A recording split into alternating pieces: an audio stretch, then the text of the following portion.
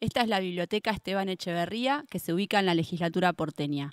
El horario de atención es de lunes a viernes de 10 a 20 horas. Los esperamos para que la conozcan y la disfruten. El libro que más me ha impactado en mi vida es Don Quijote de la Mancha. Lo he leído desde la adolescencia, lo llevaba en ediciones de bolsillo de campamento cuando me iba a la montaña. Lo tengo trabajado y anotado.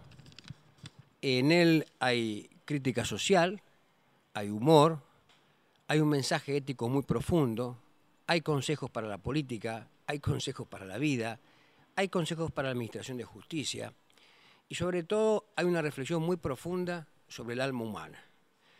Lo leo de forma permanente, no lo he dejado nunca de leer desde los más o menos 20 años hasta, hasta hoy, porque siempre encuentro algo nuevo, anoto y reflexiono, comento con algunos amigos sus anécdotas, la relación con Sancho, el diálogo con Sancho, la relación con Dulcinea, la relación con el duque, con el caballero del Verde Gabán, y mi relación con este libro biográfica y espiritual eh, se está plasmando en un libro que se llama Viaje por dentro del Quijote, sus personajes, sus enigmas y su humor, que espero terminarlo pronto y para lo cual le saco horas al sueño y horas a la política, porque entiendo que, entiendo que esto es más importante y más trascendente que lo efímero de la acción política en, en la legislatura o en el país. La literatura es un mundo permanente.